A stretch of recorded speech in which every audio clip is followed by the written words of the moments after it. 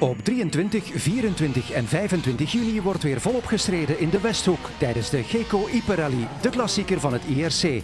Freddy Loix gaat voor een zevende zege in Iper, Thierry Neuville wil zijn eerste triomf. Bestel nu je ticket op iperrally.com, de officiële website van de GECO Rally. Van 23 tot 25 juni Loix en Neuville in de loopgraven tegen top buitenlanders. Fantastische autosport in de Westhoek tijdens de GECO Rally.